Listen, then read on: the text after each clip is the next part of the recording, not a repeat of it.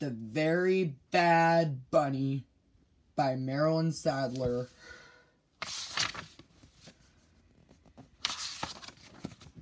PJ Funny Bunny did not mean to be bad, but sometimes he could not help it. One morning, he spilled pancake syrup all over the kitchen floor. His sister called him a bad bunny.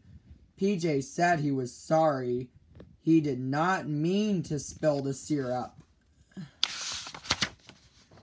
PJ did not mean to tangle up his brother's yo-yo either, or cut up the newspaper before his father read it,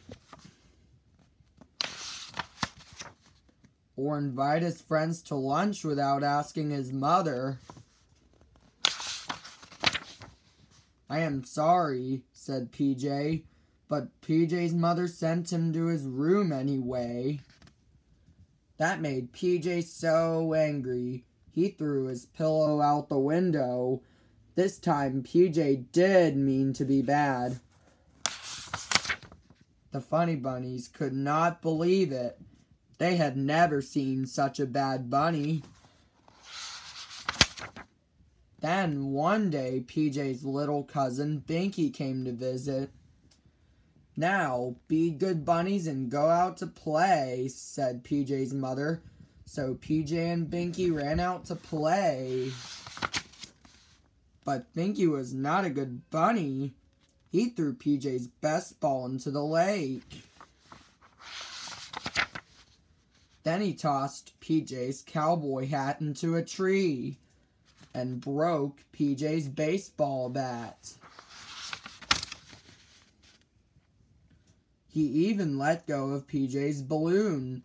Binky never once said he was sorry. Be nice, Binky, said PJ, or I will not play with you anymore.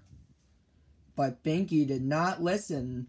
He used PJ's crayons without asking and left them in the sun.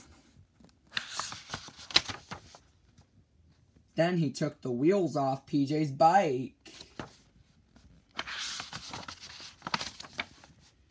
That does it, said PJ. I'm taking you back to the house. But Binky was just as bad in the house. First, he glued all of PJ's checkers together. Then he ate the last cookie in the cookie jar. He painted bunnies all over the living room wall.